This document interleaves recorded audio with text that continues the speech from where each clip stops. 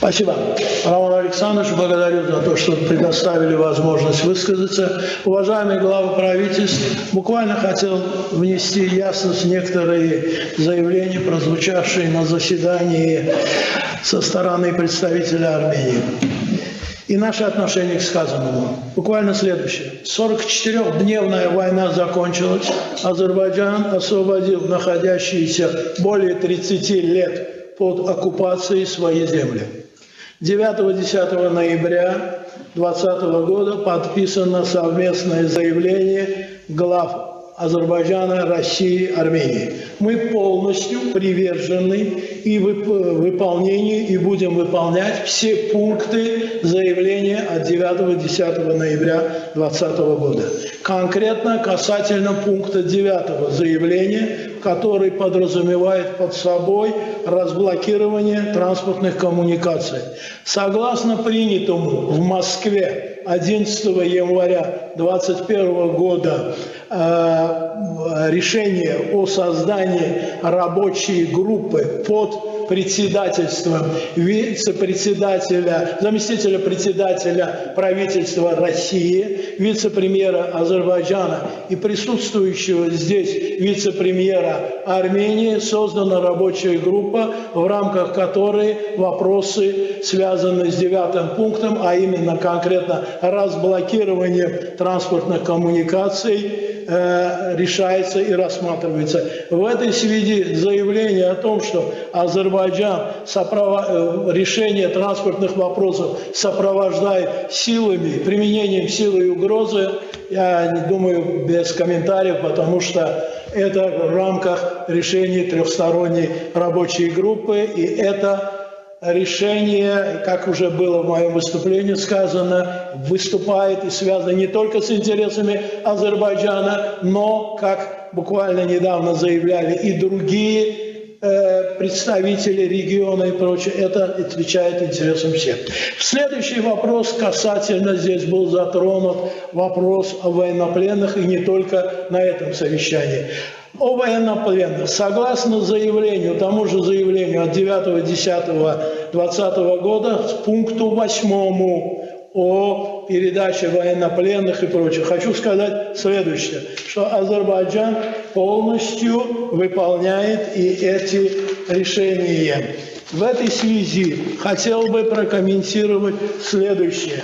Заявление МИД Российской Федерации от 9 ноября 2021 года при участии российских миротворцев с 22 декабря 2020 года в общей сложности возвращено 122 военнослужащих и удерживаемых лиц. Из них вернулись в Армению 105 человек, вернулись в Азербайджан 17 человек. Вместе с тем, после двух недель подписания соглашения о прекращении огня 13-14 декабря вооруженные лица в количестве 62 человек после окончания войны были задержаны на территории Азербайджана, которые по всем международным нормам не считаются военнопленными. Они вошли на территорию нашей страны с диверсионной целью, были задержаны и соответственно, на них э, статус военнопленных не распространяется. Вместе с тем, невзирая на это, Азербайджан вернул 29 из них армянской стороне. 33 человека из этой группы осуждены нашими судами и будут нести соответственную э, судебную ответственность. Еще один вопрос по поводу, здесь поднималось, хотел бы сказать следующее. 23 сентября текущего года на 76-й Генеральной Ассамблее ООН Азербайджаном было заявлено, что на его территории образование как Нагорный Карабах больше не существует. В Азербайджане есть Карабахский эконом-район и Восточно-Зангизурский экономический район. Спасибо за внимание. Спасибо, Олег Гидayatович. Уважаемые коллеги, э, обмен мнениями закончен. Роман Александрович, можно отреагировать? Пожалуйста. коротко. Я, я э, в свою очередь подтверждаю, что Армения придерживалась, придерживается и будет придерживаться исполнения всех пунктов заявления от 9-10 ноября и от 11 января. И, конечно же, безусловно, так оно и происходит с армянской стороны. Но при этом я хочу коротко, но э, переподтвердить или переповторить очень важный нюанс.